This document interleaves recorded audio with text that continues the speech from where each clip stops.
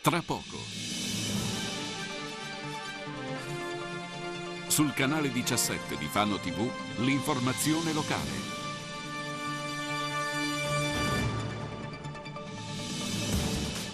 Non ce l'ha fatta Alex Talevi, il disabile è rimasto coinvolto in un tragico incidente accaduto lo scorso 7 agosto in A14.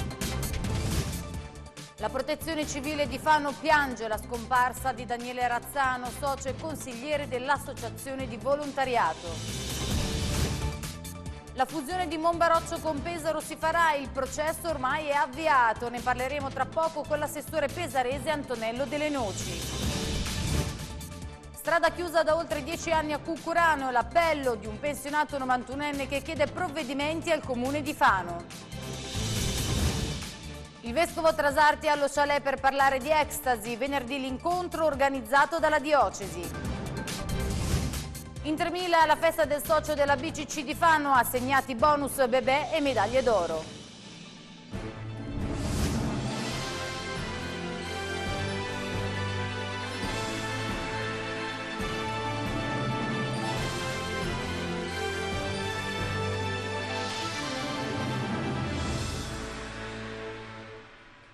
Buonasera, lo avete sentito dai titoli, non ce l'ha fatta Alex Talevi, il 41enne diversamente abile, rimasto coinvolto in un tragico incidente stradale accaduto lo scorso 7 agosto all'altezza dell'uscita del casello Ancona Sud sull'autostrada 14. Alex si stava recando con i suoi genitori al santuario di Loreto per un pellegrinaggio organizzato dall'Unitalsi. Nello schianto aveva perso la vita il padre Corrado, deceduto sul colpo, pensionato 71enne originario di Fano ma che risiedeva da circa 15 anni a Cartoceto insieme alla famiglia. Il cuore di Alex invece ha smesso di battere ieri sera all'ospedale Santa Croce di Fano dove era ricoverato insieme alla madre Angela ma per far chiarezza sulle cause della morte è stata disposta l'autopsia. Le immagini che state vedendo invece si riferiscono ad un'intervista realizzata dalla nostra redazione lo scorso lunedì 30 marzo per un servizio sulle barriere architettoniche al cimitero centrale di Fano. Molte grazie. Grazie mille. Ciao Alex. Ciao. Ciao. Ciao. E ancora un'altra tragedia. Il CB Club Mattei e tutta la protezione civile di Fano piangono la prematura scomparsa a soli 56 anni di Daniele Razzano, socio e consigliere dell'Associazione di Volontariato. Una malattia l'ha portato via in soli 15 giorni. Volontario che tutti avrebbero voluto nella propria associazione, dicono cuoco e logista, aveva prestato soccorso durante il terremoto ad Haiti e nelle Filippine. A tal proposito era stato anche nei divani rossi del nostro programma Dopo Cena per raccontare questa esperienza insieme al presidente del CB Club Mattei Saverio Olivi e ad altri volontari. Il funerale di Razzano verrà celebrato domani, mercoledì 16 settembre alle ore 15 nella chiesa di San Giuseppe Giuseppe Amarotta. Familiari, amici e colleghi partiranno alle 14.30 dalla Camera Mortuaria di Fano. L'associazione, ha detto Olivi, non sarà più la stessa. Cambiamo argomento perché è stato avviato il percorso per la fusione fra i comuni di Pesore e Monbaroccio. Ad annunciarlo l'assessore al bilancio del capoluogo Antonello Delle Noci che abbiamo in collegamento telefonico. Buonasera Assessore. Buonasera, buonasera a tutti. Dunque una fusione che si farà, anzi è ufficialmente iniziato questo percorso. Sì, questa mattina è iniziato l'iter per il percorso della fusione tra il comune di Pesaro e il comune di Monbaroccio. Un iter segnato da dei passi importanti. Oggi la giunta comunale di Pesaro ha deliberato, domani il, la legge passerà poi nei, nelle commissioni e lunedì nel consiglio comunale per poi l'iter dovrà continuare in regione e ancora poi il referendum, il referendum consultivo che dovrà essere indetto dall'Assemblea legislativa delle Marche.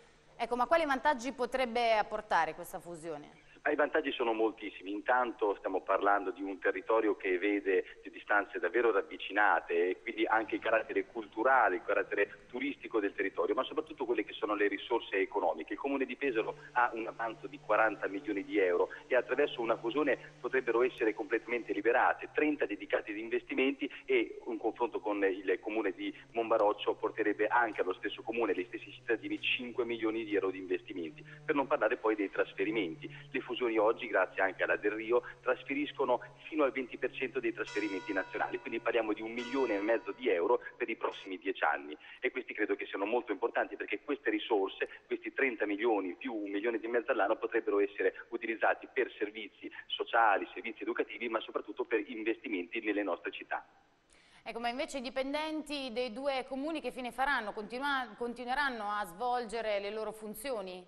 Assolutamente sì, vengono mantenuti i ruoli, le posizioni, ma per i dipendenti del Comune di Peso non, nulla cambierebbe. Per quelli invece del Comune di Monbaroccio ci sarebbe anche un ulteriore vantaggio, poiché il, il fondo, un po' la storia lo racconta, la storia anche sindacale di confronto eh, da questo punto di vista per i dipendenti ha un fondo di produttività molto importante su cui ovviamente anche domani i dipendenti di Monbaroccio che diventerebbero di un unico comune che è quello di Pesaro troverebbero poi una risposta ancora più positiva. Ecco che allora questi sono solo alcuni dei vantaggi che che hanno spinto i due comuni ad iniziare un iter di fusione che vedrà, e speriamo, entro la fine dell'anno la nascita di un comune unico con una popolazione diversa, delle aree diverse, ma con gli stessi cittadini che collaborano nell'ottica dell'interesse pubblico.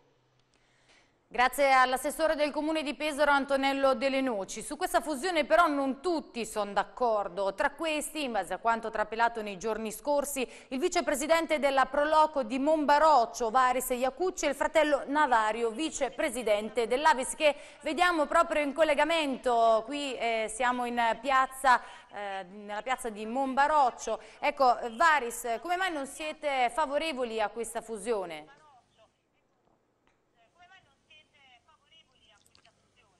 Ma non è che non siamo favorevoli, il discorso innanzitutto la giunta, eh, il sindaco doveva avvertirci, almeno dirci qualcosa, qui tutto al buio, abbiamo appreso, noi eravamo in montagna, come avete detto voi, e abbiamo appreso dai giornali che era in, in, in, in diciamo in fusione, Monbaroccio e Pesaro, per noi è stata un, come un, un fulmine, diciamo, una schioppettata, proprio lo dico in gergo venatorio.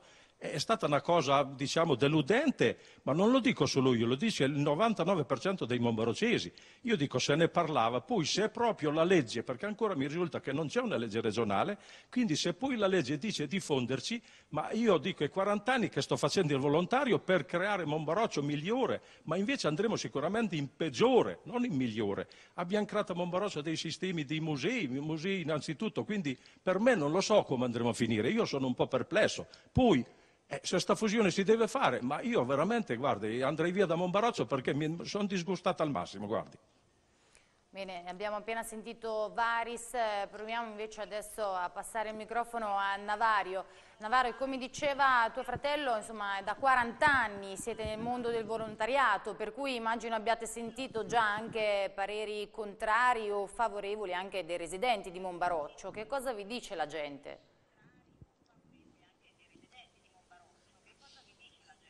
Certamente, certamente, qui purtroppo nessuno, nessuno, è contento. Come dicevo anche ultimamente al sindaco in una riunione pubblica, la gente è scontenta, però nessuno parla.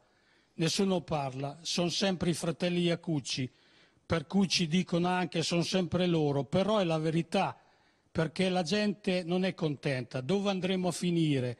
È vero, parlano di soldi, però questi soldi, come siamo arrivati adesso a non avere una lira? Cioè nessuno mai ci ha detto niente, anche l'ultimo consiglio nessuno ha parlato, hanno chiuso il bilancio, non ha parlato di debiti così presi per la gola. Oggi come oggi si trovano a fare questa cosa, ma domani dove andremo a finire? Saremo una periferia di Pesaro. La nostra autonomia, Monbaroccio, non piango perché sono grande, ma mi viene da piangere. Guardi, sono nato a Monbaroccio, cittadino di Monbaroccio, 35 anni ho passato nell'Avis come segretario, come presidente. Dove andranno a finire le nostre associazioni? L'Avis non avrà più modo di, di esistere perché c'è Pesaro. Siamo con Pesaro, penserà Pesaro, ma non è questo. Il nostro sistema comunale, no? la nostra municipalità dove andremo? Andrà adesso per 4-5 anni, faremo, saranno i grandi, faranno furore, poi saremo un piccolo paese, una periferia di Pesaro, non saremo più un paese, saremo la periferia di Pesaro dimenticata da tutti. Oggi come oggi, lo dicevo anche ultimamente al sindaco, non riuscite voi a pulire questo centro storico domani Pesaro manderà l'operaio a pulire i nostri vicoli? No. Cerchiamo di farlo noi, cerchiamo di tenere questo paese al meglio, perché la gente che viene dicono che il paese è bello, ma andrà a morire. Grazie comunque, grazie. Grazie ai fratelli Iacucci per questo intervento, poi nei prossimi giorni vedremo l'evolversi di questa fusione. E adesso invece vi facciamo vedere un video che sta girando sui social network sulle prime reazioni dei fratelli Iacucci dopo aver saputo nei giorni scorsi di questa possibile fusione. Guardate. Appesa eh, Fai la foto, fai la foto. Adesso l'ho mandato il giornetto. Mettiamo lì. Mettale, mettila. Guarda, il telefono sotto me l'ha Ecco, avete visto questo cartello simpatico con questo scritto bentornati a Pesaroccio. Andiamo avanti con eh, una notizia di cronaca perché la polizia di Urbino ha individuato e denunciato all'autorità giudiziaria l'autore dei furti sulle auto avvenuti durante l'estate nella strada delle Cesane ai danni di persone che parcheggiavano le proprie vetture per andare a camminare o a correre. Si tratta di un italiano di 23 anni pregiudicato che attualmente si trova alloggiato in un campo nomadi a Iesi. Durante la perquisizione nella sua dimora gli agenti hanno sequestrato numerosi oggetti tra i quali 10 borse di marche prestigiose nove portafogli usati, un paio di occhiali appartenenti ad una giovane urbinate derubata ad agosto, nonché materiale informatico asportato nel Maceratese. Cambiamo di nuovo argomento perché un pensionato residente a Cucurano lancia un appello all'amministrazione comunale per far riaprire la strada che collega via della stazione a via delle scuole chiusa da oltre dieci anni. Servizio di Lino Balestra si può annoverare tra le incompiute a Cucurano in via della stazione questa opera di urbanizzazione in convenzione con le ditte appaltatrici per il completamento di una strada di collegamento e i parcheggi che doveva partire nell'ottobre del 2013 e che ad oggi per inadempienze delle due imprese che non hanno mai iniziato i lavori non vede ancora il suo completamento. Gli abitanti della zona si battono per questo fazzoletto di terra da quasi dieci anni e noi pure della redazione di Occhio alla Notizia ce ne siamo occupati anni or sono ed oggi siamo stati nuovamente contattati. Se era al centro di Fano, questo non sarebbe esistito il centro di Fano, è una cosa vergognosa, capito? E, e il, gli amministratori devono trovare di risolvere questa cosa. Unica soddisfazione per gli abitanti della zona quella lingua di sentiero sterrato creato per pedoni e biciclette con l'interessamento dell'allora amministrazione Aguzzi, ma poi nulla più. La stradina in Breccino lì a fianco l'avete fatta fare voi? Sì, la stradina io mi sono interessato io e il comune, la, la, la giunta che c'era prima con l'assessore è stato bravo, devo dire la verità, Ah, e, e, e, mm, siccome li conosco tutti un po' perché cioè, è stato bravo e la stradina è stata fatta. Prego il sindaco Serri, eh, il vice sindaco Marchigiani, poi c'era anche Minardi, okay. eh, ho portato a loro le foto, la lettera, tutto quanto per sistemare qui. Speriamo che trovino la soluzione idonea per tutti. L'attuale amministrazione comunale il 9 giugno scorso ha diffidato le due imprese a realizzare entro 90 giorni i lavori di urbanizzazione in convenzione, tra cui anche la strada, trascorsi i quali provvederà ad incassare la polizza a garanzia e provvedere d'ufficio alle opere. Buone notizie quindi per gli abitanti della zona. E torniamo a parlare di scuola perché la Regione Marche mette a disposizione oltre 2 milioni di euro per la fornitura gratuita o semi-gratuita dei libri di testo. Questi fondi, spiega l'assessore all'istruzione Loretta Bravi, verranno destinati alle famiglie in condizioni economiche disagiate. L'ISEE, indicatore della situazione economica equivalente, non dovrà essere superiore a 10.632,94 euro e riguarda i nuclei familiari con studenti che frequentano la scuola secondaria di primo e secondo grado grado. Le domande eh, dovranno essere presentate ai comuni di residenza entro la data stabilita dagli avvisi comunali e che permette ai comuni stessi di inviare in regione l'elenco degli aventi diritto entro il 16 ottobre prossimo.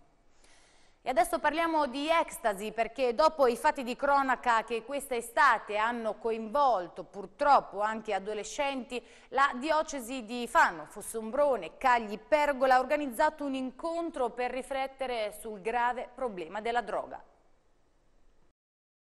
Sì, innanzitutto avremo il Vescovo Armando, che ovviamente è sempre molto sensibile alle problematiche del nostro territorio, e poi abbiamo tanti relatori, devo dire, perché parlare di, di queste tematiche è bene parlarne con tante persone che vivono magari eh, questa esperienza, perché sono psicologi, unità di strada, e quindi avremo il eh, capitano Alfonso Falcucci, che è il comandante della compagnia dei carabinieri di Fano, avremo la dottoressa Alessia Guidi, che è una psicologa e psicoterapeuta della cooperativa eh, IRS Aurora, Nuove Dipendenze di Fenile, avremo il dottor Cesare Grianti che è il dirigente medico del laboratorio di tossicologia Area Vasta 1 e avremo anche dei DJ perché comunque sono anche loro i primi interlocutori di quello che è un po' il popolo della notte.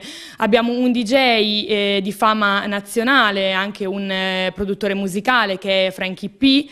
Avremo Luca Valentini che è un DJ e ci porterà la sua esperienza di essere DJ insomma, negli anni 80, 80, 90 e mh, avremo Marco Battini e questo ci, ci, abbiamo tenuto molto perché Marco Battini è il coordinatore del coordinamento unità di strada della regione Emilia, Emilia Romagna. E anche dopo i fatti di Riccione è stato intervistato anche dal Corriere della Sera.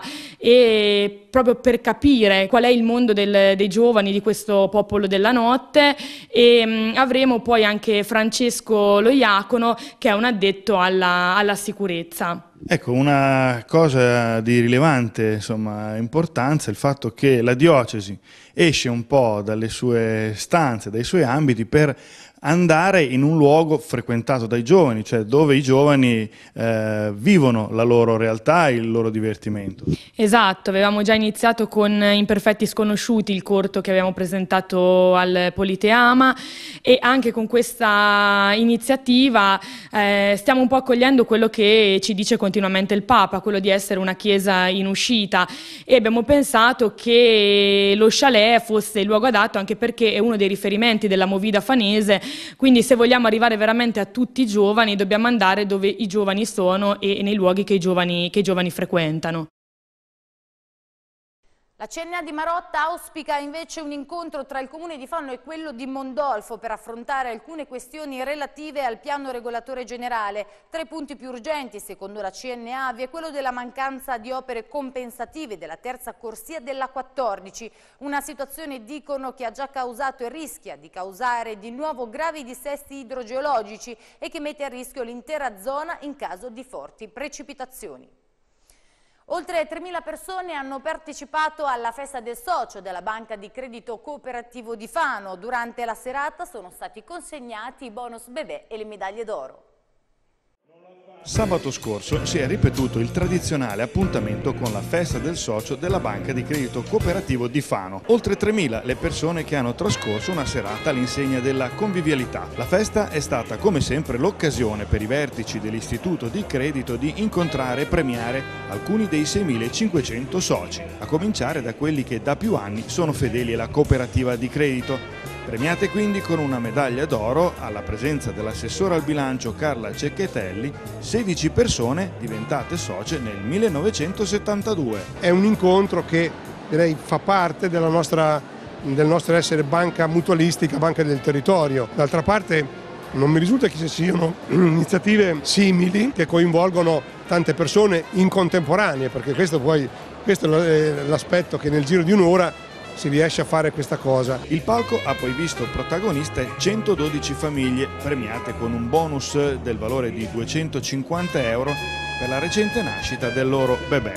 Un appuntamento questo a cui la banca tiene particolarmente dal 2010 ad oggi la BCC di Fano ha assegnato 691 bonus bebè. Abbiamo premiato tanti figli di nostri soci, quindi è il futuro, che insieme ai soci non mi piace chiamarli anziani, ma sono soci con più esperienza, questo connubio può portare sicuramente a uno sviluppo della banca anche per il futuro. Dopo la cena, a base di specialità del territorio, sono stati premiati i vincitori dell'undicesimo trofeo di bocce BCC Fano. che ha visto la partecipazione di 128 coppie.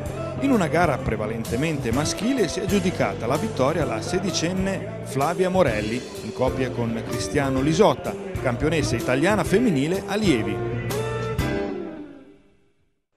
E grande successo lo scorso fine settimana per il Festival internazionale del Brodetto e delle Zuppe di Pesce. Dopo cinque cooking show che hanno registrato il sold out, una gara internazionale di altissimo livello che ha visto trionfare lo chef sammarinese Luigi Sartini e tre appuntamenti di alta scuola di cucina ai quali hanno preso parte oltre 100 persone, il Palla Brodetto ha chiuso le sue porte. In attesa però che si concretizzi il programma della tredicesima edizione per tutti coloro che volessero provare questo piatto piatto della tradizione locale al prezzo convenzionato di 15 euro c'è il fuori brodetto. Fino al prossimo 11 ottobre infatti sarà possibile mangiare il brodetto nei ristoranti che aderiscono all'iniziativa. L'elenco lo troverete anche nel nostro sito occhioallanotizia.it. E questa era l'ultima notizia per il nostro telegiornale. Fra poco trasmetteremo una nuova puntata di Dopo Cena con il coro cappella musicale del Duomo di Fano. Allora grazie per la vostra attenzione. Il telegiornale torna puntuale domani sera alle 20.30. Arrivederci.